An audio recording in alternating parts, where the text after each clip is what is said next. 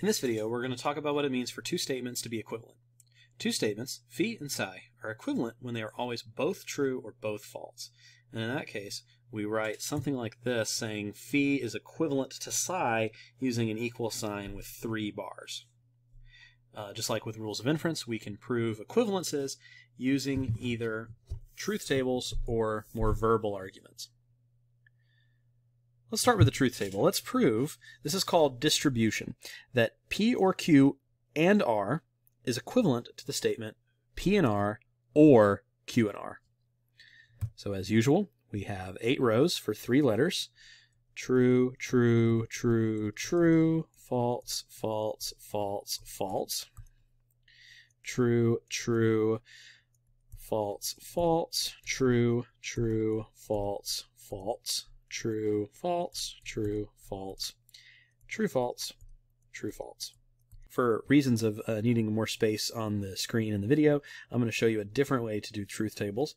Um, what we're going to do is we're going to kind of take just one column for the statement and work from the inside out.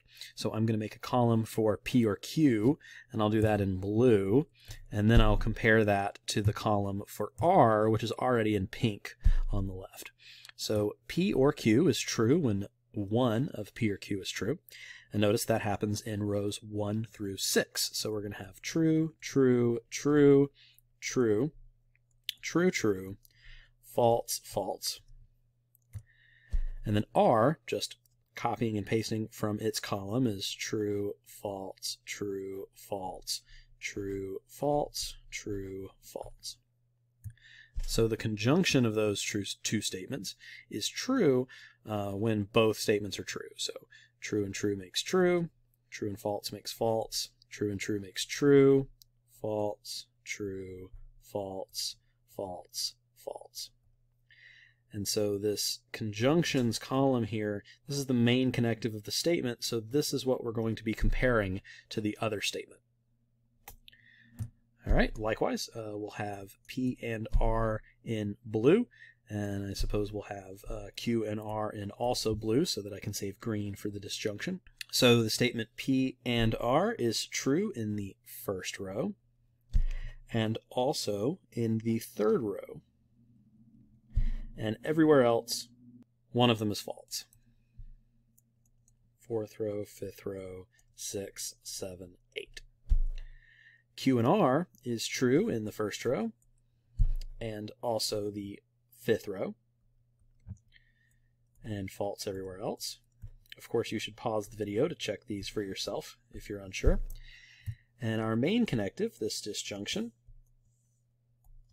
is going to be true as long as one of the blue statements is true. So that's in the first row, second, or sorry, that's the third row, uh, fifth row, and no others. So false in the second, false in the fourth, false in the sixth, seventh, and eighth. And observe that the patterns of trues and falses are the same in both of the highlighted green columns. So therefore, these two statements are equivalent, showing that you can kind of distribute the and r over the p and the q, and you get pnr or qnr. Now let's see an example of a verbal proof of equality, so of equivalence. So we're going to have De Morgan's law, which is the equivalence that if you negate a disjunction, you get a conjunction where both of the conjuncts are negated. That's this rule right here. And we're also going to use material implication, which is the equivalence that uh, if if P then Q is true, then that's the same as saying that Q is true or P isn't. So that's the statement right here. I'm going to include in the description to the video a resource where you can kind of see all of the basic equivalences together, but for right now we'll just take these two on faith. And then finally, we want to use these two equivalences to prove a third equivalence, which is the equivalence of the false conditional, namely that if I take a conditional and negate it, I'm going to get P and not Q. And the first thing I want you to notice is that this actually makes perfect sense if you think about the truth table. When is if P then Q false is exactly when P is true and Q isn't. Okay, so let's do this proof now. So I'm going to start with the statement, the negation of if P then Q. Uh, and I want to take this and I want to show that it's the same as P and not Q. So the first thing I'm going to do is I'm going to apply material implication on the inside. So I'll have the negation of the negation of P or Q. That's from material implication.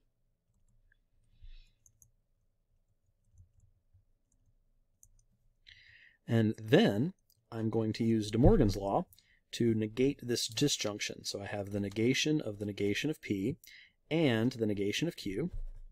That's De Morgan's.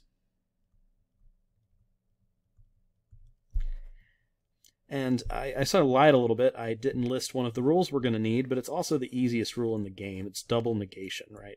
If I negate a negation, I get back the original statement. So that's going to be P and not Q. And so we're done. Those two statements are equivalent.